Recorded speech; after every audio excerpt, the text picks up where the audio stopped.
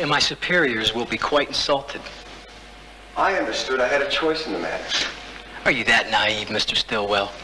Now you force my hand. An example must be made. You see?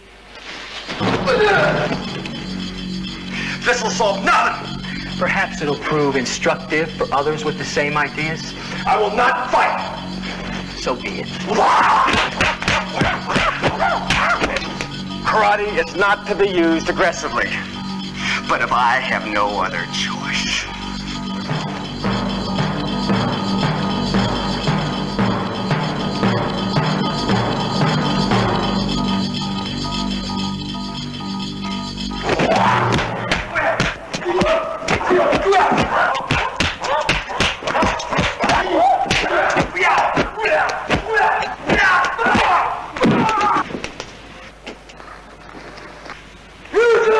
Bastards! We'll be